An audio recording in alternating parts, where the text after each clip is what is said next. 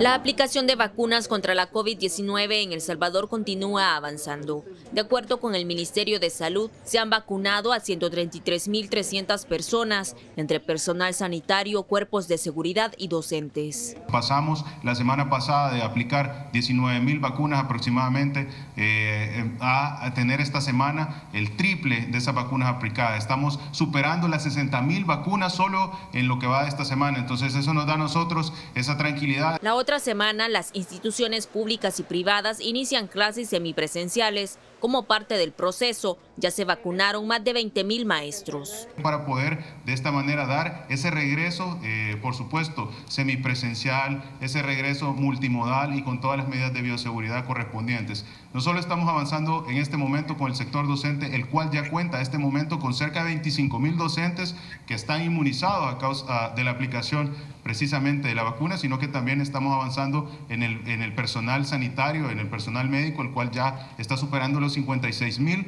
En las últimas dos semanas, la página web del gobierno registra 135 casos de coronavirus diarios. Pese a ello, la preocupación de las autoridades es que durante la Semana Santa los salvadoreños bajen la guardia.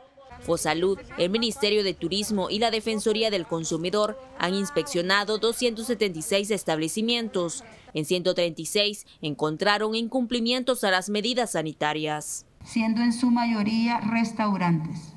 Restaurantes que están permitiendo mayor cantidad de personas de las que eh, permite si se cumple el protocolo de bioseguridad de distanciamiento. Esos incumplimientos no solo vienen del, propietario, sino del que ingresa al lugar. Informaron que han interpuesto sanciones donde no se cumple el protocolo de bioseguridad, pero llaman a la población a evitar las aglomeraciones y mantener las medidas sanitarias. Para Teleprensa Canal 33, Doris Chicas.